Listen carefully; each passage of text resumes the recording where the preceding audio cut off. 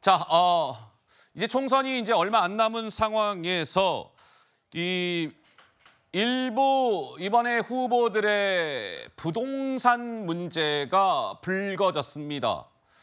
먼저 더불어민주당의 경기 안산갑 후보 양문석 후보의 논란인데 먼저 양문석 후보의 목소리를 듣고 도대체 무슨 논란이 불거진 것인지 차근차근 짚어보도록 하겠습니다. 양문석 후보의 목소리가 준비가 되어 있습니다. 먼저 들어보시죠. 윤석열 검사 독재 정권 심판, 탄핵, 타도를 외치는 당원들과 지지자들과 함께 또는 선봉에 서서 싸우겠습니다. 경제만 봐도 내 이웃끼리 미워하고 갈라치게 하는 이 현상만 봐도 여러분들이 왜 윤석열 검사 독재 정권을 심판하는지 아시겠지요? 심판합시다. 처벌해야 됩니다.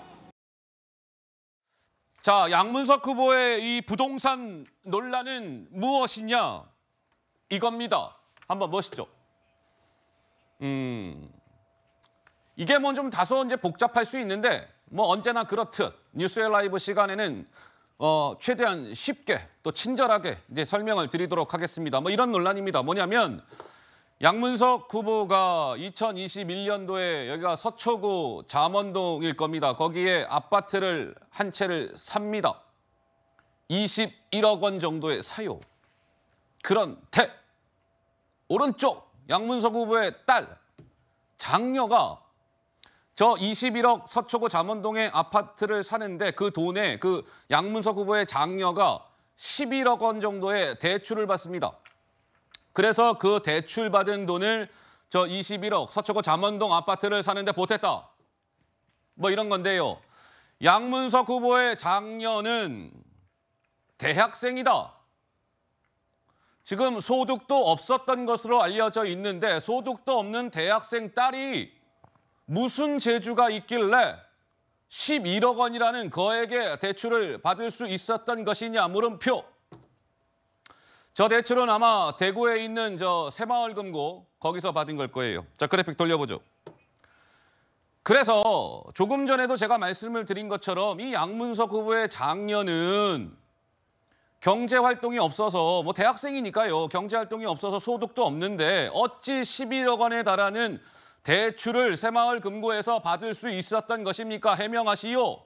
뭐 이런 것이고 국민의힘에서도 양문석 후보는 후보의 자격이 없습니다. 후보직에서 내려오세요. 이렇게 비판을 하고 있는데 어떻습니까? 송영훈 변호사님, 대학생 딸이 11억 원의 대출을 받을 수 있는 겁니까? 어떻습니까? 일단은요, 우리 뉴스의 라이브 방송에서요. 예. 화면 오른쪽 상단에 29세 이하 시청 금지 자막을 좀 붙여야 될 것 같습니다. 무슨 말씀이세요? 우리 20대 청년들이 지금 어디를 가서 11억 원을 대출을 받을 수 있겠습니까? 음. 받을 수 있는 사람이 거의 없고요. 아마 이강인 선수 정도 말고는 22살에 11억 원 그냥 대출 받을 수 있는 사람이 저는 잘 떠오르지 않습니다. 그래서 아이고야. 우리 청년들 박탈감을 많이 느낄 것 같기 때문에 예. 오른쪽 상단에 29 붙여서 동그라미 표시해야 되지 않을까 싶고요. 음. 제가 양문석 후보의 해명을 보면서 몇 가지 의문이 듭니다. 첫 번째, 아파트는 서초구 잠원동에 있는데 음. 왜 대구 수성구에 있는 새마을금고에서 대출을 받았을까? 그게 첫 번째고요. 음. 두 번째, 따님은 정말로 사업자로 대출 받았는가? 그게 궁금하고요. 음. 세 번째, 만약에 사업자로 대출을 받았으면 정말로 사업을 했는가? 그것도 궁금합니다.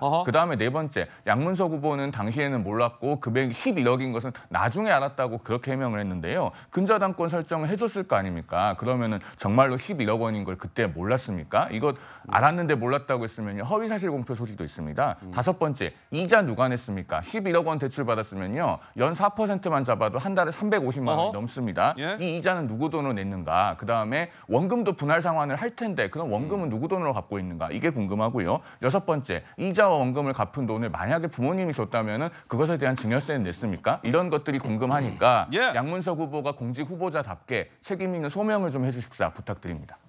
자, 그런데 말이죠. 지금 이제 양문석 후보의 장녀가 그 대구에 있는 뭐 새마을 금고에서 11억 원의 대출을 받는데 이 과정이 지금 이러했다는 겁니다. 이게 무슨 얘기냐? 이 장녀가 이제 처음에 주택 담보 대출이라는 것을 받으려고 했는데 주택 담보 대출은 받을 수가 없어요. 왜? 양문석 후보 딸은 대학생이니까 소득이 없잖아요. 소득이 없는 사람은 주택담보대출을 받을 수 없습니다. 그래서 나오는 얘기는 뭐냐면 일종의 편법을 썼다 이거죠. 어, 양문석, 후, 양문석 후보의 딸 명의로 사업자 등록을 내서 개인 사업자 대출을 받는 식으로 편법을 썼다. 먼저 이런 의혹이 불거졌습니다. 그래서 지금 금감원에서도 당장 나온 얘기는 무엇이냐?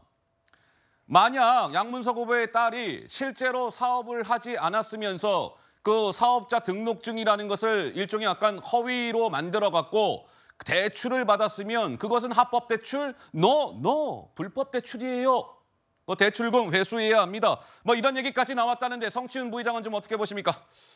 어, 새마을금고의 입장이 좀 공식적인 뭐 자료나 이런 게 나왔는지 모르겠는데요. 저는 사실이 아닐 거라고 생각합니다. 어허. 말이 안 되지 않습니까? 만약에 그렇게 했으면 예. 책임을 져야 되는 부분이죠. 어. 어, 저는 편법의 영역이라면 양문석 후보 뭐 우리 당 소속이기 때문에 제가 어떻게든 방어를 해드릴 텐데 음. 지금 말한 대로 만약에 그게 사실이라서 불법의 영역이라면 저는 해드릴 말씀이 없습니다. 음. 어, 그렇기 때문에 이거를 그 양문석 후보가 처음 그 입장을 낸 게 편법의. 영역이다라고 얘기를 했기 때문에 저는 아 그러면은 뭐 과도한 대출이나 뭐 자녀의 어, 소득이 없는 자녀의 대출 이런 것들은 뭐 편법적 부분이 있으나 불법적 요소는 없다라고 제가 말씀을 드릴 수 있는데 음. 지금 추가적으로 나온 의혹이 만약에 사실이라면 이건 불법의 영역으로 넘어가는 것이거든요. 예. 그리고 저는 또 한 가지 저 저조차도 의문이 있는 게 음. 사업자 대출을 20대 대학생이 11억을 받을 수가 있습니까? 허. 그것도 저는 의- 의문이 좀 의문이 있거든요. 그렇기 예. 때문에 이거에 대해서 명백히 해명을 해줘야 된다. 왜냐하면 이 문제는 어. 단순히 양무석 후보 개인의 문제가 아닙니다. 이건 어. 공당의 민주당이라는 공당의 아이고, 예. 신뢰도와 관련된 문제거든요. 왜냐하면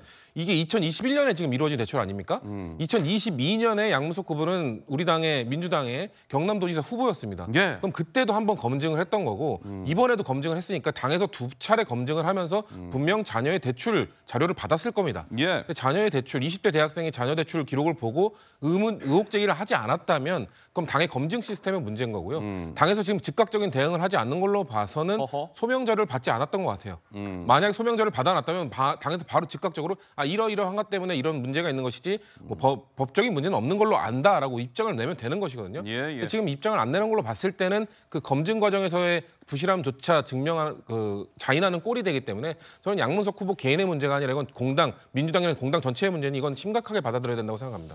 자, 지금까지의 상황을 놓고 보면 양문석 후보가 어, 2021년도에 서초구 잠원동에 있는 한 21억 정도 되는 뭐 일종의 뭐 일각에서는 그 똘똘한 한 채, 에, 그거를 사는 과정에서 본인의 딸, 어, 대학생 딸이 11억 원의 대출을 받았고 그 잠원동 아파트를 살 때 그 딸이 받은 11억 원의 대출금을 받아갖고 잠원동에 똘똘한 한 채를 샀다. 근데 소득이 없는 대학생 딸이 11억 원의 그 대출이라는 것을 도대체 어찌 받았을까? 그것이 뭐 사업자 대출이든 주택담보 대출이든 여기에 이제 의문이 뒤따르고 있는 겁니다. 한동훈 비대위원장 오늘 이 대학생 딸 양문석 후보의 딸이 11억 원의 대출을 받은 것과 관련해서 이렇게 양문석 후보를 겨냥했습니다. 들어보시죠. 부동산을 취득하는데 대학생 딸이 11억의 대출을 받았습니다. 여러분, 여, 여, 여 기 모이신 분들 중에 청년분도 계시는데요. 새마을금고에서 11억 대출 받을 수 있습니까? 여러분? 받을 수 있어요? 그것도 그렇게 투, 투자 하기 위해서 받을 수 있어요? 제가 범죄자들로부터 지배받으면 안 된다고 말씀하셨는데 제가 말한 사람들은 조국이나 이재명뿐이 아닙니다. 이런 사람들은 꽉 차여 있는 것이 지금의 더불어민주당 후보들이고 이분들은 청년을 위한 척합니다. 자, 이것이 이제 국민의힘에서는 아니 말이에요. 양문석 후보님, 본인 딸이요. 지금 11억 그 대출 받았다고 하는데요. 한 달 이자만 366만 원이에요. 그거 이자 납부했습니까? 안 했습니까? 그리고 만약에 그 이자를요, 어, 양문석 후보가 부모가 대납을 했다라면 그 증여세 뭐 납부 실적도 공개하시고 뭐 하면서 지금 굉장히 공세 수위를 높이고 있는데 우리 네 명의 패널 가운데 우리 강전의 변호사께서 이제 유일한 법조인이신데 이것이 어떻습니까? 불법적인 문제로까지 번질 수 있는 그런 문제라고 보십니까? 어떻게 보세요? 아, 우리 참 송영훈 변호사도 계시는군요. 죄송합니다. 어, 예. 죄송합니다. 우리 강견혜 변호사. 예. 변호사 중에 한 명으로서 좀 말씀드리자면 네. 은 편법이라고 볼 가능성이 굉장히 높아 보입니다. 지금 양문석 후보가 해당 부동산을 구입한 게 2020년 8월이었는데요. 우리 시청자분들 많이 기억하시겠지만 당시에는 서울시 전역이 투지과열지구로 지정이 되어 있었기 때문에 주택담보대출이 15억 이상이 되는 주택에 대해서는 받을 수가 없었어요. 그렇기 때문에 양문석 후보는 이 집을 일단 사고 어허. 그 이후에 딸의 명의로 즉 개인 사업자를 냈었다라는 것으로 알려져 있는데요. 개인 사업자 사업자 대출을 받았다라고 지금 나오고 있습니다. 그런데 양문석 후보의 딸이 지금까지 세금 납부 내역이 없어요. 어. 개인 사업자였다면 부가세라든지 기본적인 세금들을 냈었어야 됐는데 이런 납부 내역이 전혀 없었다. 그럼에도 불구하고 개인 사업자로서 이 집을 사면서 11억이라는 대출을 받았다라는 것이 죠. 이 집에 그 담보를 해갖고는 11억이라는 대출을 받은 것이죠. 그리고 또 하나 딸이 11억 대출을 받을 무렵에 원래 양문석 배우자의 어, 양문석 후보의 배우자 명의로 네. 제2금융권의 근저당 채무가 있었습니다. 아, 그래요? 예, 그런데 이 채무도 그 당시에 이제 근저당이 사라지게 되는데 그렇다면 이 제2금융권의 근저당 채무는 어느 돈으로 지운 것인가? 그렇다면 아무래도 딸이 딸 명의로 받은 대출금으로 어, 이 제2금융권을 지우면서 어떠한 이자를 낮추는 그 효과가 있었던 것이 아닌가라고 일반인의 입장에서도 많이 생각을 할 수 있을 것 같은데요. 예, 예. 여기에 대해서는 글쎄요 지금 당시 대학생이었던 딸의 명의를 사용을 했고 양무석 후보도 어느 정도의 편법의 가능성이 있, 음. 가- 있다는 것에 대해서 인정을 하고는 있는데 여기는 저는 좀 수사가 들어가야 되는 부분이다. 그냥 어. 단순히 해명으로 끝날 일은 아니다라는 생각을 갖고 있습니다. 자, 아, 뭐 해명으로 끝날 일은 아닌 듯하다. 뭐 수사까지도 필요할 듯하다. 우리 강전혜 변호사 이런 말씀을 주셨고 양문석 후보도 뭐 입장을 내놓기는 했습니다. 아까 우리 성치훈 부의장이 얘기를 잠깐 하셨는데 일단 이 부분은 인정을 했어요. 오케이. 편법적인 소지가 있었음은 저 양문석 인정합니다. 불법까지는 아니고 약간 편법이 있었음까지는 인정해요. 뭐 이런 것이고 국민의힘이나 이런 쪽에서는 편법은 무슨 편법이에요? 불법이죠. 수사해야지요. 뭐 이런 것이고. 그래서 양문석 후보는 뭐 이제 전셋집을 전전하다가 이럴 바에는 집을 사자 이런 결심으로 대출을 알아보다가 부동산을 통해서 어찌 어찌 하다가 새마을 금고와 연결이 돼서 우리 딸이 11억 원의 대출을 받게 됐습니다. 그런데 여기에 여러 가지 지금 물음표가 뒤따라 붙고 있는 상황. 양문석 후보가 이 논란이 조금 커지고 있는 상황에서 어떠한 추가적인 해명이 나올지 한번 지켜보도록 하겠습니다.